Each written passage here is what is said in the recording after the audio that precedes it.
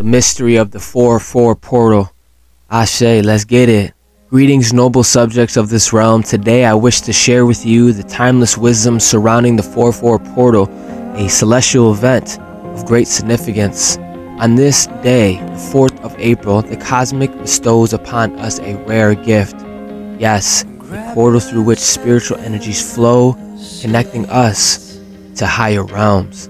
It is believed during this time and space, our connection to the divine is heightened allowing for profound manifestations and transformations to take place. I know you're feeling it, and so do I. The number four holds a great symbolism. It represents stability, foundation, solid ground upon which we build our very lives. Ashe. So, thus, on this day, let us ignite and unite in purpose and determination, harnessing the power of the 4 4 portal today to shape our destinies and fulfill our deepest desires.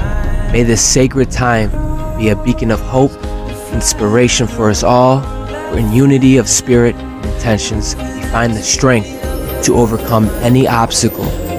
Long live the Stargate 44 portal and long live our eternal quest for enlightenment and fulfillment.